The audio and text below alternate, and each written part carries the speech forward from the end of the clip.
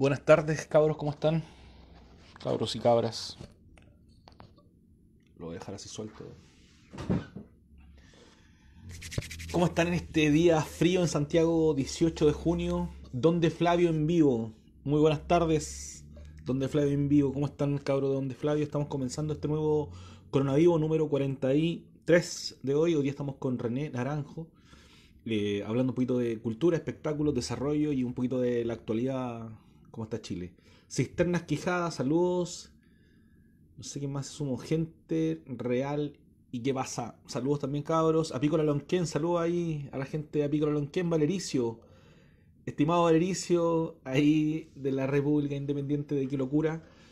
Eh, saludos en su cumpleaños número 43, que creo que son, ¿no? Saludos, Valericio, que lo pase muy bien. Chino Silva, saludos a La Serena, a Pícalo Lonquén ahí, muy ricos productos, síganlos.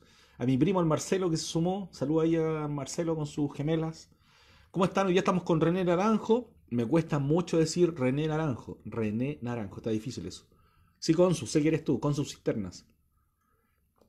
Me recuerdo. Eh, me recuerdo, Consu. ¿Cómo estáis, Consu? ¿Cómo están, cabros, en este día de lluvia? Hoy, jueves 18. eh, a la Pati también la saludo ahí que se une, une empaine. Mira, de todo, de todo Chile se está sumando gente a esta conversa. Eh, saludos Marcelito, estamos en este nuevo coronavirus número 43. Saludos al Angelito que, que nos diseña ahí los afiches, los flyers. Y se viene bien bonito. Les cuento primero que hoy estamos con René Naranjo. Lo digo muy lento porque me cuesta. El sábado estoy con Moyenei Valdés, ex Mama Soul, eh, fundadora de las Mama Soul. Voy a estar con ella el sábado a eso de las 6 de la tarde por Festival Utopía. Salgo por otra, re- otra red el sábado. Y eh, eh, mira, dice que la mamá del chino es fan de los coronavirus. Bueno, saludos ahí a la mamá del chino. Buena chino. Bueno, chino, pu. Serena. Eh, ¿qué más? Eh, les cuento que estoy el lunes, voy a estar con el sensual Spider-Man. Eso va a estar bonito el, el lunes. Estamos casi confirmados con él. Y el miércoles estoy con Luis Andaur. Así que se vienen bonitos coronavirus de aquí para adelante. Llevamos 43 programas. Y hoy es interesante hacer esto. Y nada, pues súper agradecido también a todas las redes de amigos que se han ido conectando. Eh, ¿Cómo están pasando hoy día con la sopaipilla? Hace harto frío, eh, cabro. Mucho frío. Está bien el lado de Santiago y se vienen hartas lluvias. Está bien el lado del sur. Está. Encima estamos en esta cuarentena con esta gran enfermedad que nos está aquejando. Estamos bien ahí cuidándonos todos. Saludos a la Cami que se conecta desde Valparaíso. Vi en las redes que tenía una postal de maravilla la tarde. Bueno, hoy día estamos con René Naranjo. Y nada, pues sigan ahí a las redes de que estamos generando. Ubierna, Farfán, saludos también. Eh, recuerden seguir las redes de Aurea Ediciones. Aquí tengo varios libros de los chiquillos de Aurea. Hoy día le vamos a regalar uno. No es este precisamente a, a René, pero en Aurea Ediciones hay literatura chilena, nacional, así que se lo recomiendo también para que lo vayan leyendo. Cronox, saludos ahí a Frente Fotográfico, los chiquillos del colectivo fotográfico de Renca. Así que nada, estamos haciendo este coronavirus número 43. Hoy día es jueves 18 de junio.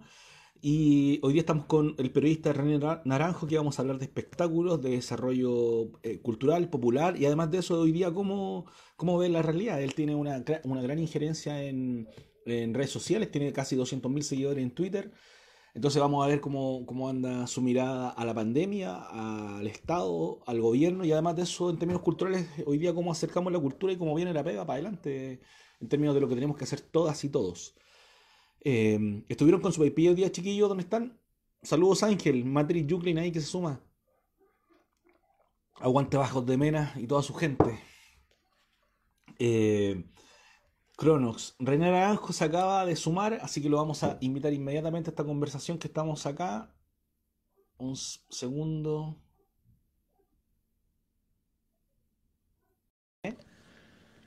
Ahí está René ya en vivo. Estamos esperando que se sume a la conexión. Estamos tomando un tecito. ¿Ustedes qué están tomando, cabrón? René, ¿me escucha? Te escucho, pero no te veo. Parece que algo, espérate, algo pasó aquí. Yo te veo. Veo tu cuadro y te veo a ti. Ay, me Pero ves a un mí. poco pegado parece. Sí, parece que algo pasó. Espérate, me voy a volver a, a A contactar. conectar. Dale. Dale. Yo recomiendo conectarse con la red 3G, 4G, con la red del teléfono más que con la red de Wi-Fi, que de repente queda mucho más saturada que la del teléfono. Probémoslo, tal vez puede ser ahí, puede ser ahí que te puedas conectar bien. Les cuento, este es el número 43 de Coronavivo. Estamos en vivo hoy día con el periodista René Naranjo. Vamos a hacer una conversa principalmente relacionada con la cultura y con la contingencia nacional. Eh, hemos tenido invitados de todo tipo, así que por ahí está Pico Lonquén dando vueltas. Saludos a la Yeri y tenemos una conversa competente con ella acá en Coronavivo. Vamos a hablar sobre las abejas, el cuidado de las abejas, lo importante que son, el desarrollo que tienen y además de eso, cómo nosotros podemos aportar que estén mucho mejor. Martina Cortés 83, saludos. Ahí está la invitación de René.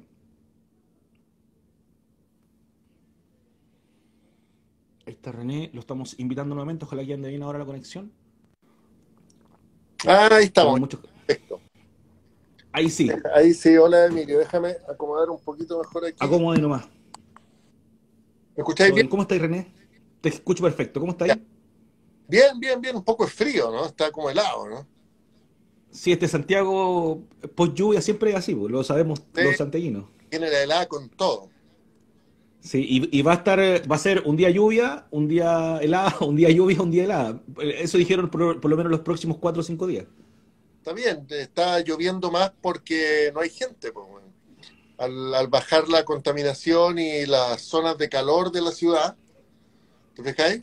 Baja la temperatura de la ciudad y permite que el ecosistema se recupere un poco. Pues, sí, sí, bueno, el otro día escuchaba a alguien que, a un, a un meteorólogo, que decía que hace más de 12 años que no llovía más de tres o cuatro veces en dos semanas. Claro. Que era una locura, que hace una cantidad de años que no teníamos eh, posibilidad de lluvia continua, que era único. Tiene que ver absolutamente con eso, con la baja.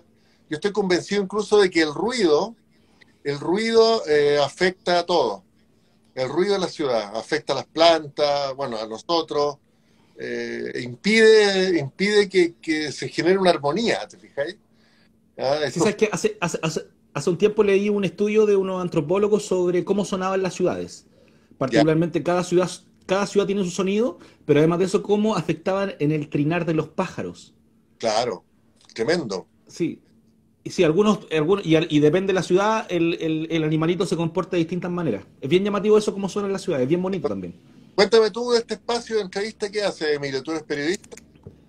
Yo soy periodista, René, y te cuento, dentro de mm, la contingencia y todo lo que pasó, levanté este programa que se llama Corona Vivo. Hoy día es nuestro programa número 43. Ah, eh, sí, en estos tres meses he hecho. ¿Todos, ¿Todos los días? No, se va saltando. Mira, algunos días lo hice todos los días, pero después lo he ido acomodando. Hoy día es tres veces a la semana, pero depende harto de los entrevistados, de la posibilidad que tienen ellos, de los tiempos de ellos. Entonces lo he ido acomodando. Y, ha sido bien interesante hacer el, el, proceso. He tenido desde enfermeras de la UCI hasta amigos que han estado conversando desde Francia, España, Argentina, Brasil. Eh, estuvo el profe Massa, estuvo Freddy Stock, estás tú, han habido una cantidad de raperos, estuvo hace poco estuve con Jaime Coloma, se ha ido, se ha ido abriendo un mundo de, posibilidades en la conversa. De acuerdo, invitemos a la gente que se conecta a que haga preguntas para que hablemos de, los temas de, películas, de series, de recomendaciones, ah, de lo que quieran. Sí, mira, yo tengo, yo, tengo una pequeña, una pequeña conversa más o menos armada contigo. También está la posibilidad para que nos pregunten en mi WhatsApp los amigos y también la gente ahí que te sigue a ti también en las redes. Eh, de algunas cosas. Primero, sobre tu injerencia en Twitter. Hoy día tienes 200.000 seguidores. Has tenido algunas peleas con, con Checho Irán, con no sé quiénes, has peleado con varios por ahí más, conocidos. No tanto, yo peleé mucho en la tele en la década pasada, ¿no? En 2004, 2006, por allá peleé, peleé mucho porque en la tele y aprendí que uno no gana mucho peleando, fíjate. No se gana mucho. Y, en, y en Twitter además la gente pelea mucho están, mucho, sí. Están muy peleadores, están muy buenos para pelear. Entonces, eh, lo que yo hago es no pelear. ¿Te fijas? Yo, eh, en unas tallas, me molesté Chuirana, me molestó ahí, me, picaneó, pero eh, yo no le contesto porque, o si no, entrar en una pelea en que además no tiene solución porque porque ninguno de los dos nos va a hacer, nos va nos vamos a convencer mutuamente y, y, no es el espacio para tener eh, los los diálogos, las conversaciones más reposadas. Oye, gracias Enzo, gracias Enzo por el saludo. Oye, entonces no, yo no peleo. Mi principio en Twitter es que yo no peleo. Y, lo- lo- y aprovecho estos 190 mil seguidores para eh, apoyar mis contenidos. Estoy trabajando mucho más, como lo estás haciendo tú, por generar tu- nuestros propios contenidos. Porque esta, esta es un, este es un tiempo en que pasan dos cosas, yo creo. Eh, Primero, cada uno tiene que mostrarse, cada uno de nosotros tiene que mostrarse como, a- como, eh, tal cual es, digamos, y con, ojalá con un, con un contenido atractivo para el público. Ojalá poder decir algo que a la gente le, le llame la atención, le interese, le atraiga algo. Le haga clic, le haga, le haga clic, claro. Y luego eh, trabajar juntos, unirnos.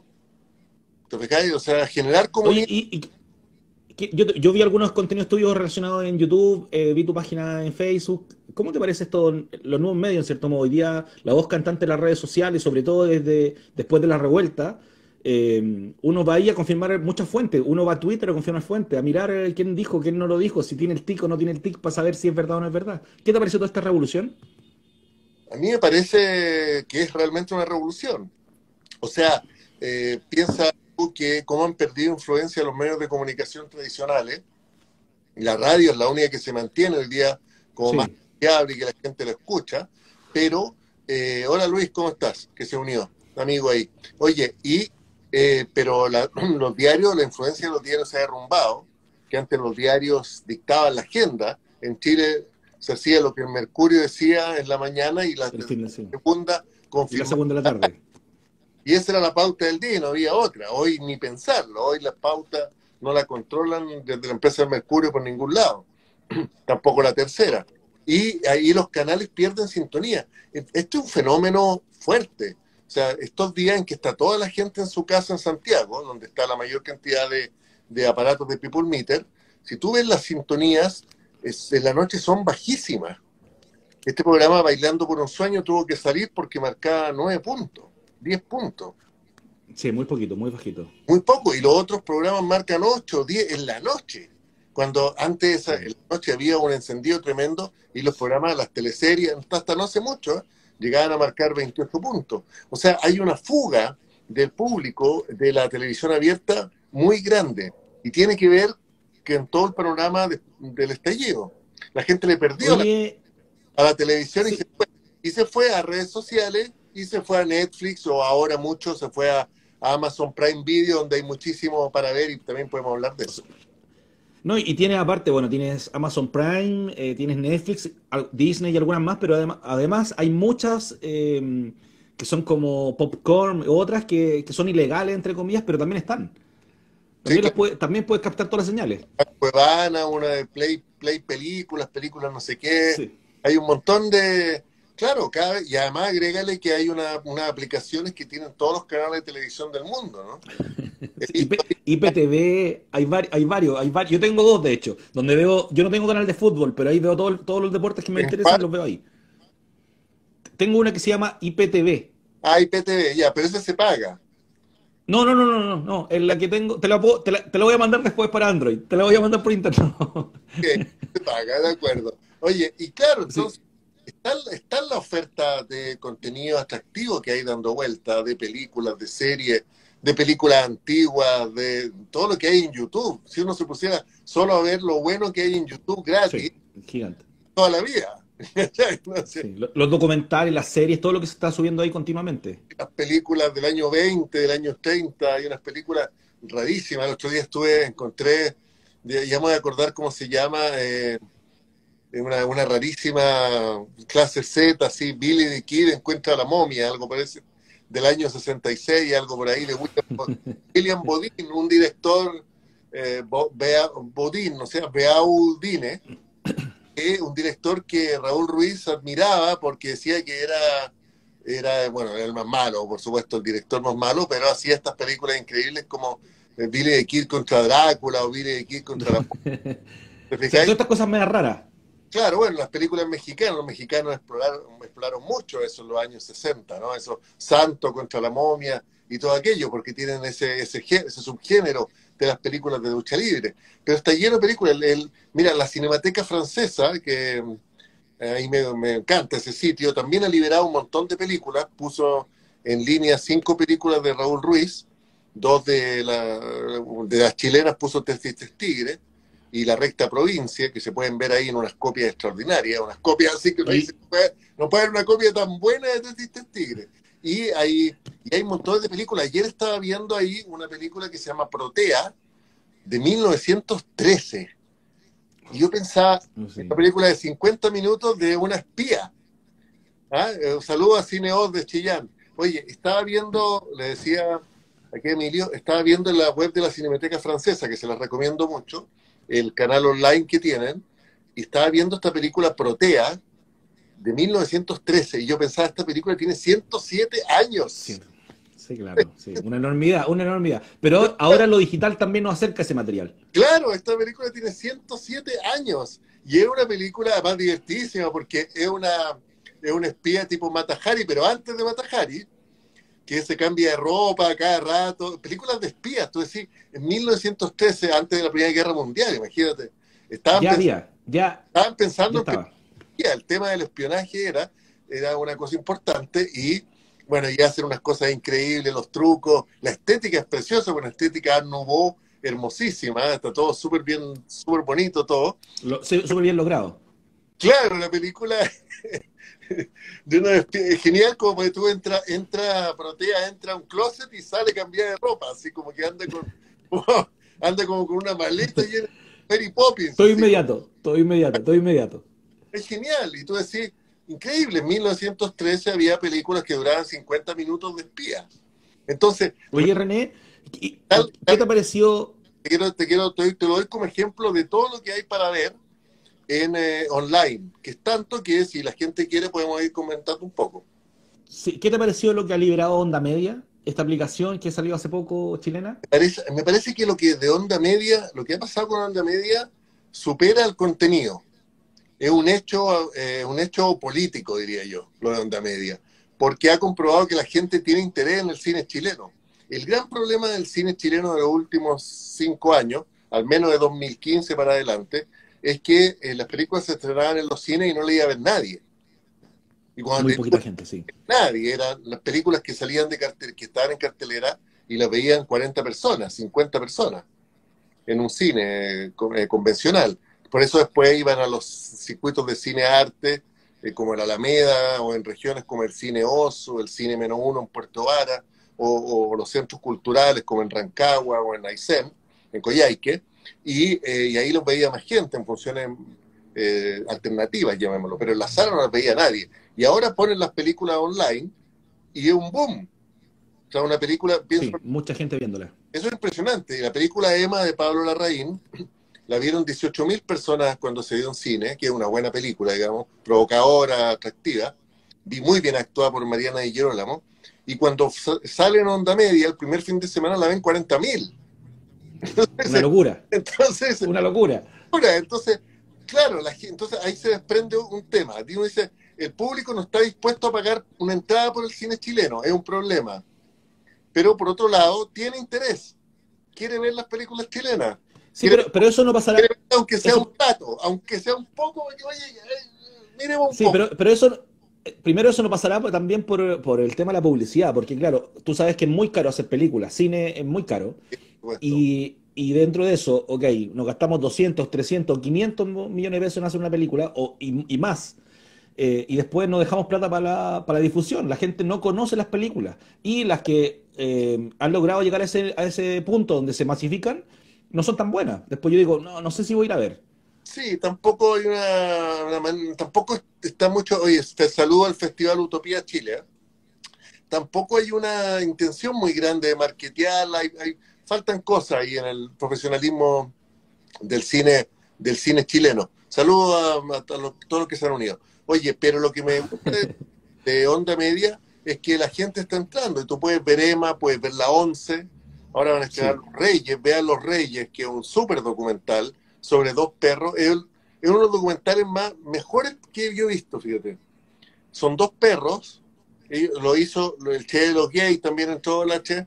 Oye, eh, eh, los Reyes son dos perros que viven en el Parque de los Reyes, al lado de la pista de skate, acá abajo en, en el Parque de los Reyes, en Balmacén. ¿cachai? Allá para allá. Y, eh, y, y el documental es sobre los perros, los protagonistas son los dos perros. La película se está bueno. la película se debería llamar Los Perros, pero ya hay una que se llama Los Perros, entonces le pusieron Los Reyes. y porque ellos son como los reyes de ahí. Eh, y, la película es extraordinaria, está hecha por, por esa gran dupla de documentalistas chilenos que Iván uh, Snovikov y Bettina Perut. Y realmente buena, Los Reyes la recomiendo. A mí no me gustan mucho los perros y que salí pero enamorado de la película. Te gustó un montón. Así que genial Los Reyes. Está El Tío, que es una súper buena película, en el sentido de que Ignacio Santa Cruz Guzmán hace una película sobre su tío Jaime Guzmán Errázuri, que ya sabemos quién es. Ah, no sé si la has visto. No, no la he visto, pero, pero, la, pero leí la crítica sobre ella. Vela, porque me parece a mí, más allá de los defectos que pueda tener como película, que obviamente los tiene, pero me parece que El Tío es una película, dirigió, no la dirigió Ignacio, la dirigió Mateo Ibarren, pero Ignacio la protagoniza, la produjo, y es una película de Ignacio, es su vida, es su tío. Claro, pues claro, él estaba ahí. El hermano de su mamá, digamos. Oye, René, y ahí me tengo, tengo varias. Mira, me parece, René, solo decirte que me parece que una de las películas más valientes que jamás se ha hecho en Chile, el tío. Mira, tremendo. René, mira, llevamos 20 minutos hablando, imagínate, es una locura. una, locura. Primero, te quiero preguntar por eh, volver al tema de la televisión pública, que lo estuvimos hablando un poquito hace un rato de la televisión, pero te quiero preguntar por dos cosas de la televisión pública. Primero, ¿cómo la televisión hoy día se acerca o compite con los medios digitales? Y segundo, ¿qué te parece la venta del canal público, la venta del edificio del canal público? Sí, eh, no sé cómo la televisión ven, eh, compite hoy día con los medios digitales. Creo que es súper súper compleja la pregunta. Habría que, eh, habría que repensar mucho los canales, porque, porque además tú estás compitiendo no, no solo con... ah, mira, Catalina, se, hola Catalina, ¿cómo estás? Estás compitiendo con unos gigantes. Mauro, hola, ¿qué tal? Estás compitiendo con eh, Netflix, con Amazon, con Disney, con Apple, con ahora viene, ahora vi que la Cinépolis lanzó una plataforma también, Cinépolis Click, y vienen las películas, están ahí listas para ser arrendadas, Bad Boys Forever y todo. Entonces, em, no sé cómo puedes competir con un canal de televisión em, sin replantearlo. Yo creo que desde la lógica que tienen hoy los canales no hay ninguna posibilidad de competir. O sea, de eso yo voy a hacer un programa y voy a vender unos avisos y voy a ir a Falabella para que me auspicie. Esa cuestión se murió. Eso, Es, eso es el siglo XX. Esa cuestión se acabó. No hay cómo financiar un canal de esa manera. Y lo que haga comprobar eh, Bailando por un Sueño, en fin, lo que pasa con TVN. Oye, Sebastián Lelio, pero por favor, que, invitado más notable, Sebastián, por favor. Eh, eres más que, más que bienvenido donde quiera que estés. No sé en qué país estás, Sebastián. ¿En qué parte del mundo? ¿Qué parte del mundo? Hola, Fernando Aro. Entonces, eh, ¿qué pasa con TVN? Yo también yo pienso que eh, eh, ese proyecto de TVN hay que repensarlo completo desde, desde el Estado y desde la comunidad. Yo creo que algo que pasó muy, muy grave fue que se, se fue distanciando a TVN de lo público. Abrazos, querido Sebastián. Oye, eh, saludo de Punta Arenas. Punta Arenas. Se viene se distanciando de la gente y de lo público. Esto, esto, está secuestrado el directorio por un cuoteo político de Chile Vamos y de, y de la ex No mayoría. Ni siquiera el Frente Amplio, que tiene 20 diputados, puede tener un representante allí. Eso es de la concertación y de Chile Vamos. Y además tiene que ser aséptico, no puede, políticamente no puede tener un punto de vista, lo que es una fantasía, porque sí lo tiene. Sí lo tiene, pero lo tiene escondido, lo tiene bajo cuerda. Lo tiene bajo cuerda, lo tiene mañana, como sea. Entonces, eh, es como que hay que pensar todo eso de nuevo y hay que decir en qué me conecto yo como canal con la gente. A lo mejor no necesito un edificio tan grande de 57 mil metros cuadrados te a lo mejor necesito un edificio más chico y trabajar con productoras, llamar a Sebastián Lelio y decirle, Sebastián, ¿qué quieres hacer? ¿Dónde estás en este momento, Sebastián? ¿Y qué quieres hacer? Acá un programa, conversemos esta misma conversación con Lelio, por ejemplo, por la tele. ¿ah? O mándame, te fijáis y generemos algo. Y, y también lo que dicen acá, ¿estamos dispuestos los chilenos a financiar la TV pública? Me parece una buena pregunta. ¿Qué TV pública queremos financiar? Porque si, si pensamos, si todos pagáramos si todos dejáramos que nos descontaran 500 pesos mensuales, o 600 pesos mensuales, la televisión pública se financiaría en Chile. Claro. ¿Te fijas? Si de la cuenta, si, de la cuenta de la nos descontaran 600 pesos que fueran a, a la, mm, claro, como la BBC, o que, que fueran al fondo de la, de la televisión. Pero tenemos que estar de acuerdo. Y el sentido de comunidad en Chile está muy fracturado y lo vemos ahora, en esas en las peleas constantes de, de que los cuicos, de que los zorrones, de que no sé quién. Entonces, tenemos una sociedad muy fracturada. Entonces es complejo. Es complejo. Y mientras tanto, tienes a las... Eh, tienes a las... Eh, también está la venta TVN Austral, claro, si se están liquidando TVN. Si esto está ocurriendo. Y aquí hay, un, aquí hay una cuestión muy fea, que lo decía Pancho Reyes, yo lo saqué, lo saqué al aire hoy día en Bio, Bio mi bloque cultural en Bio, Pancho Reyes decía, le parece una falta de ética que se esté discutiendo la venta de TVN, porque es más que el edificio, cuando ya vende el edificio estás vendiendo una parte importante del corazón del... del patrimonio también, pues, no, patrimonio del proyecto. Y eh, lo decía Pancho Reyes, es, es poco ético, en medio de la pandemia, con toque de queda, con la gente pensando en otra cosa, con todos preocupados, con, con un gobierno que... Es por debajo, pues. igual es por debajo, pues, sí. Un gobierno que mete miedo, están privatizando o vendiendo o liquidando o acabando con TVN, lo que sea. Entonces no puede ser, la sociedad no puede funcionar así. ¿Te fijas, no? Es súper complejo, eh, súper complejo ahí como si queremos televisión pública, si podemos hacer televisión pública en Chile también. Eh, por ahí pasó una, un amigo que dice que deberíamos ser un cohort de productoras y así trabajar en la televisión pública. Por supuesto y, darle espacio a la gente. En un momento en la televisión universitaria fue así.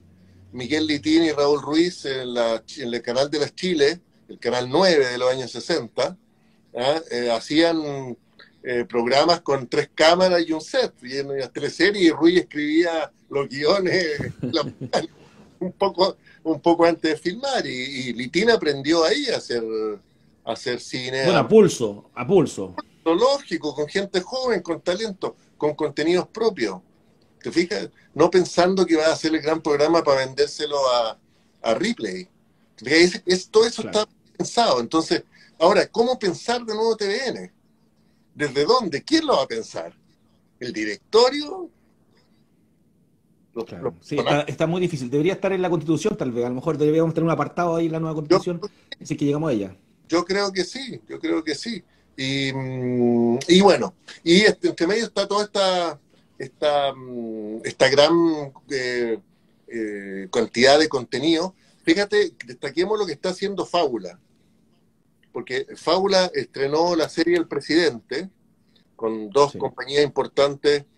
Eh, sí, por la nueva tele, la web, el streaming, claro, eso estábamos hablando justamente. estrenó la serie El Presidente en Amazon Prime Ahora en Netflix, el, próximo 26 o 29, los próximos a fin de mes, estrena, en la Constitución tiene que estar TVN, es verdad. Estrena Fábula en Netflix, una película que se llama Nadie sabe que estoy aquí, una producción hecha en Chile con José García, el, el actor chileno norteamericano de Lost. Y el 10 de julio vuelve a Amazon Prime Fábula con la serie La Jauría, con Daniela Vega, Antonia Seger, Alfredo Castro. Tremendo.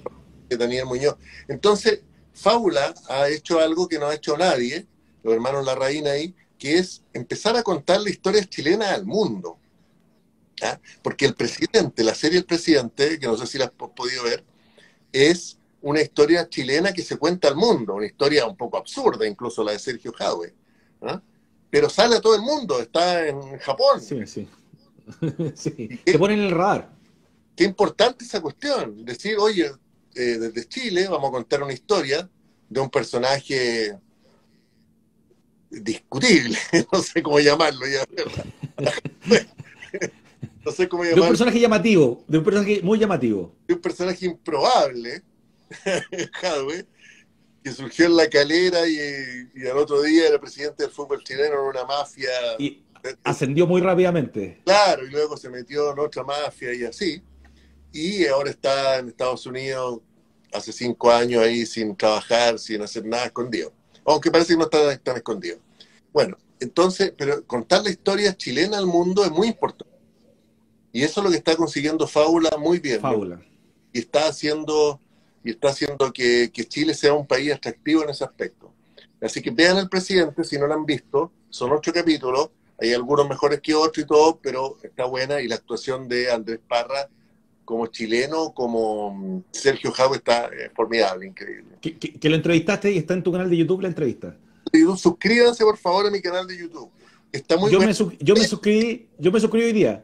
Sí, muchas gracias. Yo me suscribí al tuyo. Vamos. Ya.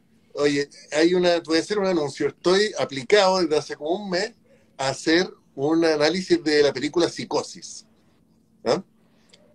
Eh, si está Sebastián Lelio en la sintonía, sabe que es una de mis fetiches absolutos. La película perfecta, como le digo yo. Hola Brian, gran tenor, Brian, cantante extraordinario.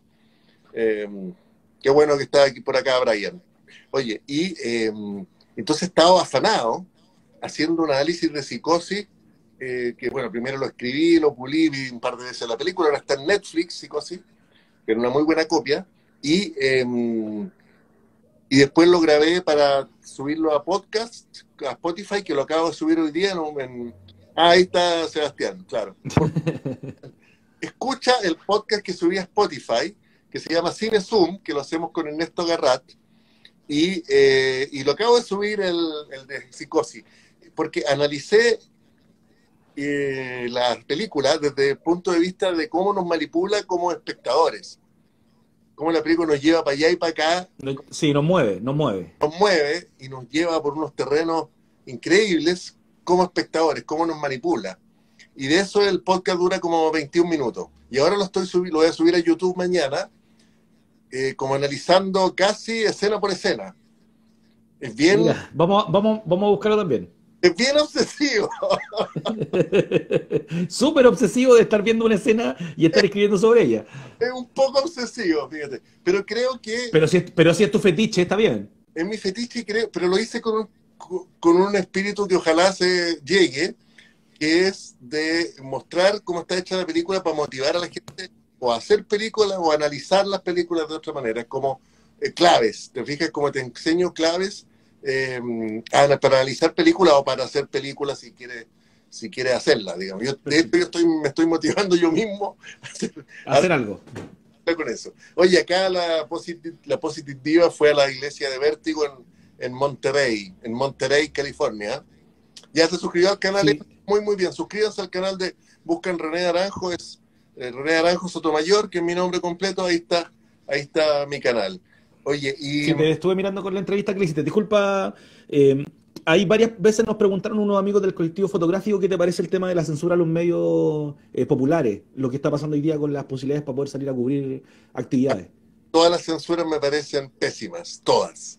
La censura, lo que el viento se llevó en HBO, pésima. Y que, lo sacaron, que lo sacaron muy malo. Muy malo. Tú no podías, tú no podías ocultar una película. No puedes, eso se llama censura.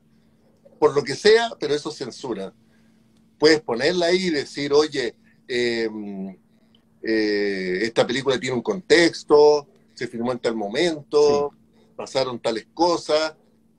pero, es la, pero, es la, muestra de una realidad, de un momento, de un momento que hoy día no nos gusta, pero pasaba. No puedes censurar y tampoco puedes aplicar, como han aplicado acá, este filtro de que no te doy permiso para cubrir noticias si no tiene un giro en el, en el Servicio de Impuestos Internos. Esas son esas son censuras, son resquicios por eso, todo eso me habla, me, como dicen los españoles, me sabe mal.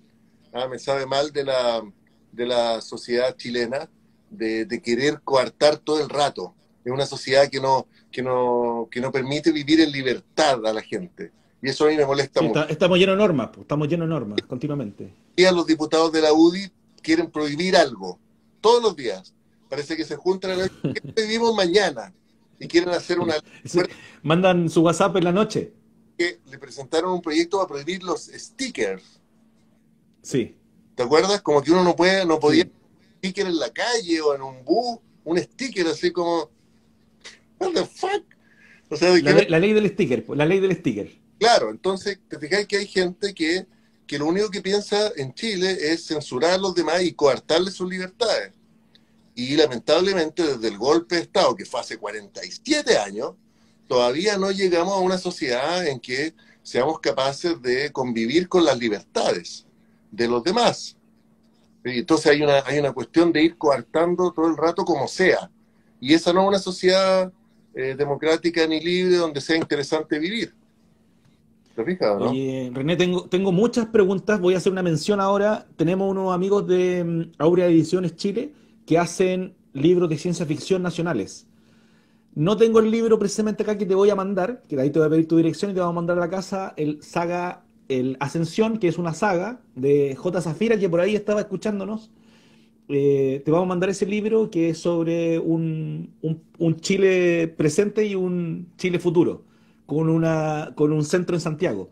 Entonces te lo, voy a, te lo voy a enviar y los libros son este tipo. Sigan a Saga Ascensión. Mira, está Valparaíso Zombie, Monmapu, Horrores Humanos. Tenemos varios libros ahí, en Instagram, así que sigan la página de los chiquillos de...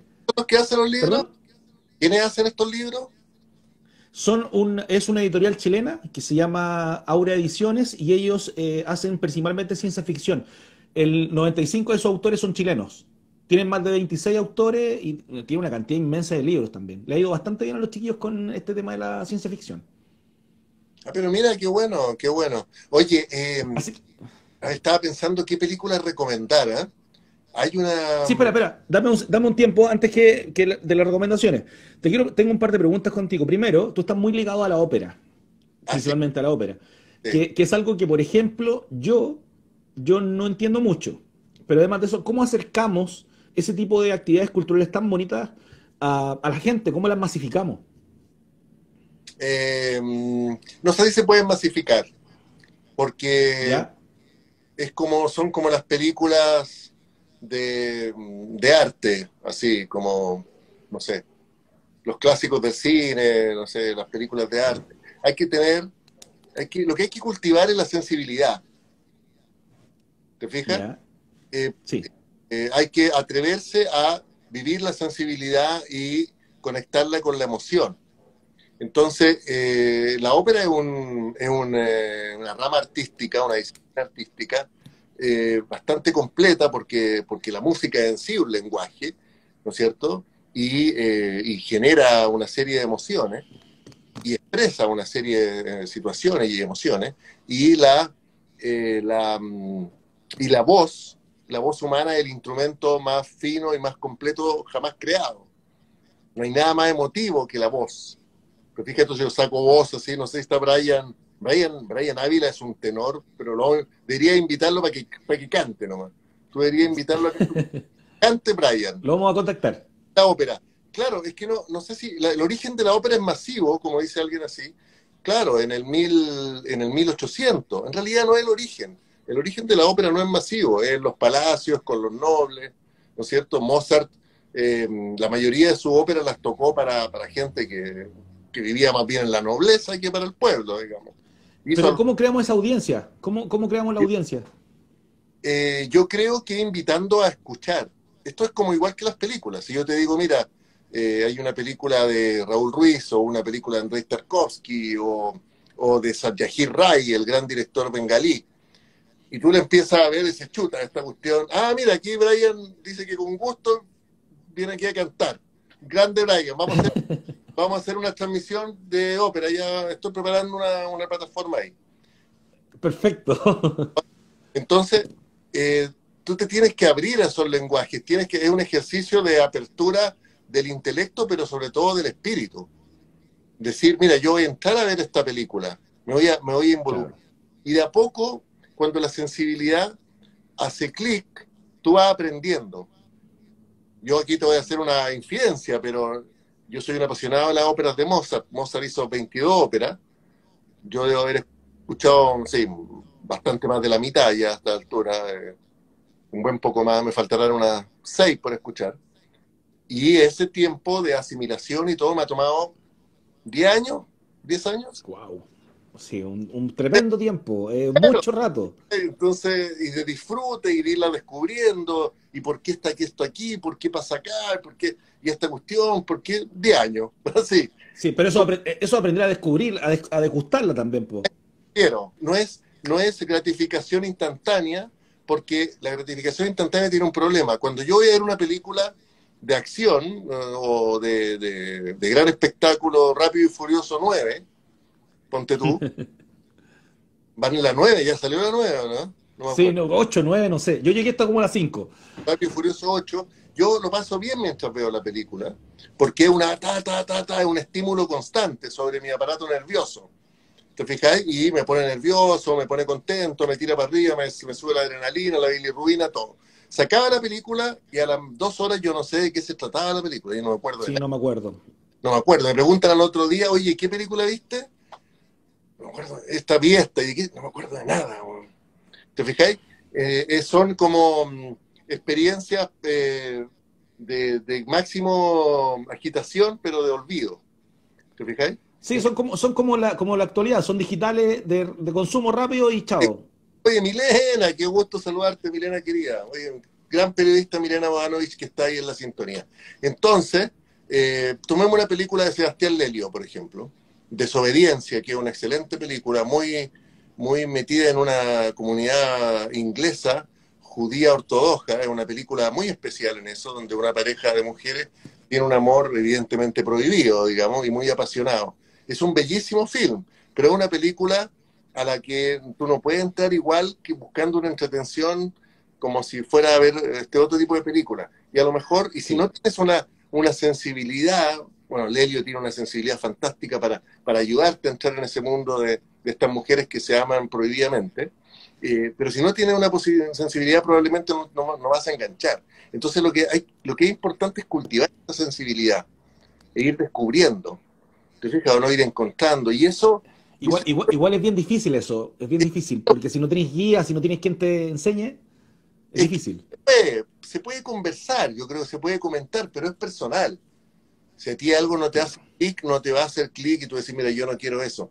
Pero, eh, pero sí se puede ir desarrollando y cultivando. Yo estoy convencido. Todo se puede cultivar. Tú sabes que el cerebro desarrolla. Sí, eh, funciona de una manera maravilla. Tú puedes, tú puedes desarrollar sensibilidad para eh, percibir otras cosas. Bueno, y de la ópera, eh, lo único que hay que hacer es escuchar, hay que partir escuchando. Por ejemplo, mañana, y esta es una súper recomendación, que tú puedes ahí compartir también, yo, la voy a compartir en un rato más. Mañana el Teatro Municipal, en su web municipal.cl, transmite una de las óperas más bellas que hay, que se llama Los Puritanos, y Puritani en italiano, del compositor Vincenzo Bellini, que es uno de los grandes compositores de la ópera, que murió a los 34 años, en 1835, y compuso una, cantidad, por supuesto, breve de ópera, y esta es su última ópera, que la estrenó en Francia, no en, eh, no en Italia. Y es una ópera bellísima, ambientada... ¿Mañana qué hora es eso? Mañana es a las 8. A las 8 de la noche, mañana... Los, Puritanos de Bellini, que es una ópera que seguramente muchos no han escuchado nombrar nunca. No Yo por lo menos no. René, tengo varias pregunta y se nos acaba el tiempo. Ya, dale, dale. Déjame contarte. Entonces importa, después retomamos de nuevo. Lo retomamos, desde mi canal, desde mi.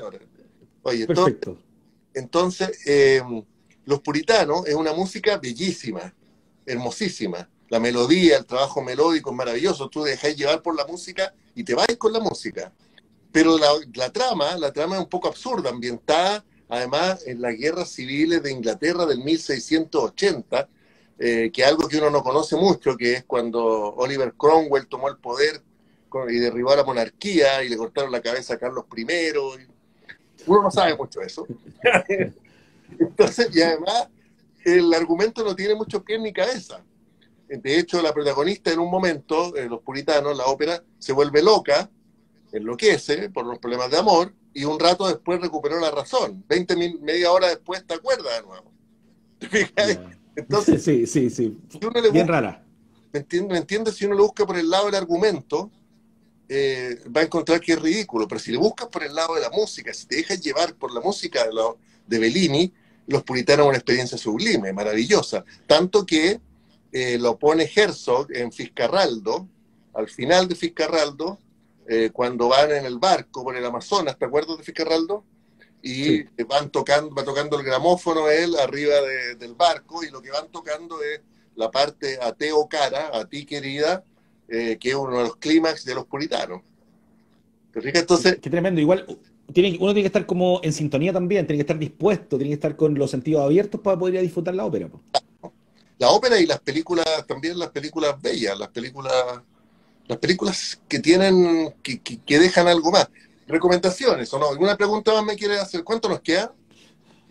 No, es que mira, mi programa dura media hora, pero ya nos podemos pasar hasta un, un poquito, nos, podemos pasar un poquito más, llevamos 40 minutos. Pero también siempre lo pienso por el respeto. Yo te pedí media hora a ti, si puedes quedarte un rato más, no tengo ningún problema. Corta después, lo corta. No tengo ningún problema. Eh, te quiero preguntar varias cosas. Primero, ¿qué te pareció el tema de eh, la revuelta social? ¿Cómo la viviste el año pasado para este año? Te voy a sacar un poquito, por eso. No soy Freddy Stock. No, no, no, no, no, pero, pero en términos personales también, ¿cómo lo has vivido? Porque en las redes sociales eres bastante activo con la cantidad de cosas que vas publicando también. Sí. Eh, ah, me hay otro tema. sí, pero... Súper difícil, lo encuentro que Chile vive un momento muy difícil muy difícil y no sé cómo se puede salir bien de esto, así para decírtelo derechamente. ¿Qué es lo que creo yo? En que cada día tenemos que ponerle energía, tenemos que eh, tratar de conectarnos con nosotros mismos, estar bien clarito. Esta es una etapa que no permite muchos, eh, muchas caretas, muchas máscaras, muchas poses. ¿no? Es una etapa eh, entre la pandemia y la protesta social, es una etapa bien de, desnudarse, de decir, mira, esto soy, esto es lo que yo puedo hacer, esto es lo que yo puedo aportar a los demás y, tratar de entregarlo nomás, digamos, y de compartir. Creo que es un momento de ser solidario, es un momento de ser empático, si no lo eres, forzarlo, te fijas, a escuchar... aprenderlo, aprenderlo. Aprenderlo, a entender la sociedad en que estamos viviendo, tremendamente desigual e injusta, una sociedad que parece del antiguo régimen de Francia, con una élite que tiene casi todo el poder y el resto que mira entre las rejas del Palacio de Versalles, ¿no es cierto? Eh, no sé, eh, ¿cómo puede terminar bien eso? No tengo la menor idea. Espero que termine bien. Creo que lo importante es, eh, no decaer, es mantener un espíritu de, energía y de contacto con uno mismo. cabeza fuerte, cabeza fuerte. Sí, sí, pero eso requiere estar concentrado con uno mismo. Escucharse la nada, ¿te fijas? Eso yo, yo es lo que más... ¿Llegamos, ¿Llegamos a plebiscito el 25? ¿Ah? ¿Llegamos a plebiscito el 25? Sí, sí, el plebiscito no se puede postergar de nuevo. No, es, imposible que plebiscito se postergue de nuevo. No Ahí tenemos que hacer este programa en, no sé dónde después, digamos.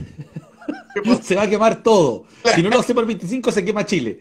Claro, no, ahí tenemos que hacer el programa no sé de dónde, digamos. Y, ciertamente Chile necesita muchos cambios. Hay que ver cómo se van a producir esos cambios, quién los va a liderar, quiénes lo van, cómo va a participar, eh, qué vamos a hacer, digamos. un llamado, siento yo, a que todos eh, participemos y nos contactemos. Ya, pero déjame hacerte algunas recomendaciones en los últimos cinco minutos. Ya sí, yo sé si vamos a aguantar esas recomendaciones si ya nos pasamos. Tenemos, nos quedan 10, 15 minutos todavía. René, ¿te gusta el fútbol y eres de la Católica? Sí, claro. ¿Alguna vez alguna vez estuviste en las barras? Ya no voy, ya no voy al estadio, yo cuando era joven, pues bueno, ya no. ¿Y qué te pareció ahora haber parado todo a punto de ser campeón? Eh, sí, todo este periodo ha sido rarísimo. Yo ahora estoy más contento porque veo el fútbol español, yo sigo harto fútbol español. Entonces ahora volvió fútbol español y he estado viendo unos partidos, cualquier partido. Así, un ratito, un ratito, un ratito. Tengo puesto mientras escribo español Getafe. Ponte tú lo estoy viendo. Real Sociedad.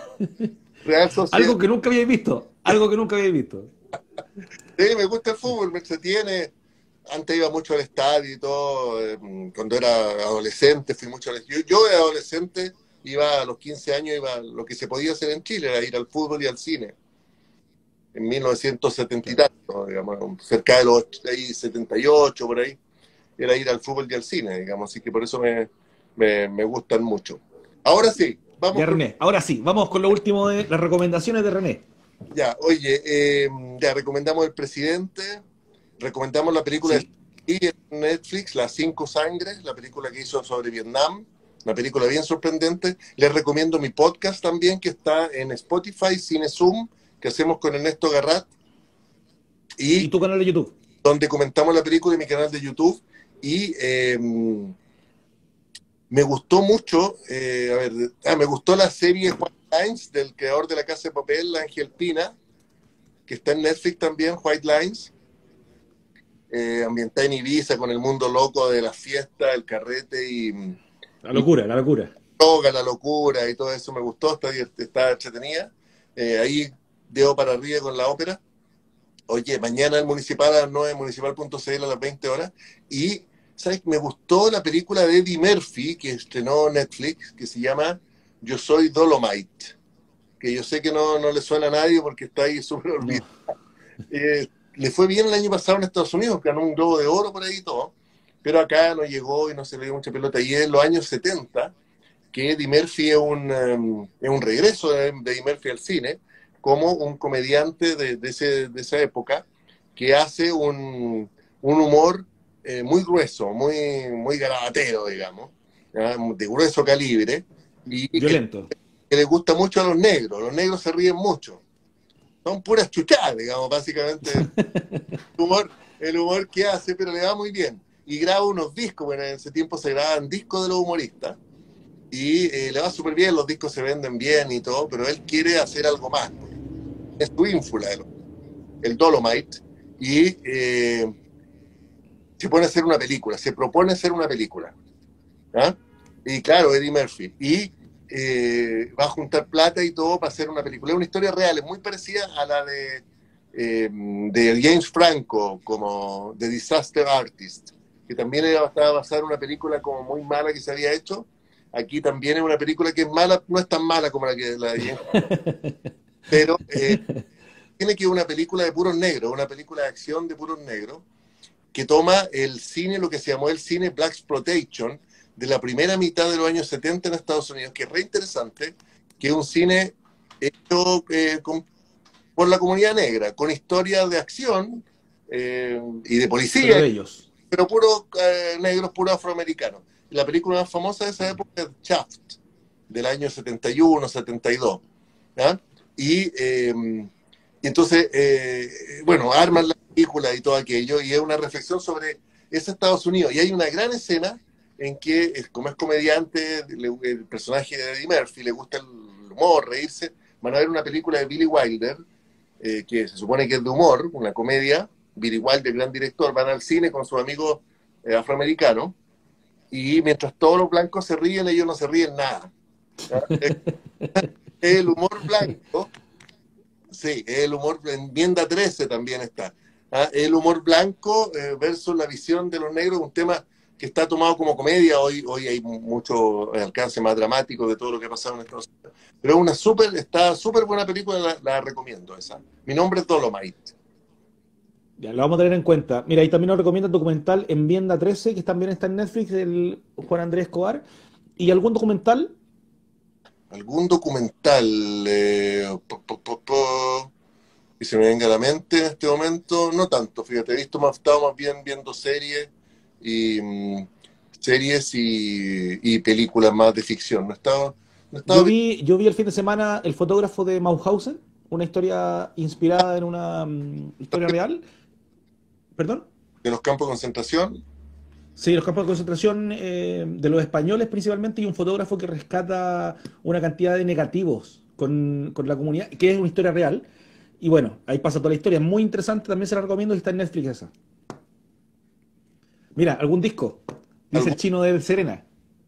Ah, eh, mm, ya, me quedo, me quedo pensando para la próxima qué disco. Lo que pasa es que yo escucho mucha música muy diversa, no, no, te sabría decir ahora. Ah, el otro día estuve escuchando, no, me estoy mintiendo, el otro día escuché el disco de La Ventana de los Jaivas, ¿viste que lo relanzaron? Lo remezclaron, un disco que hicieron sí.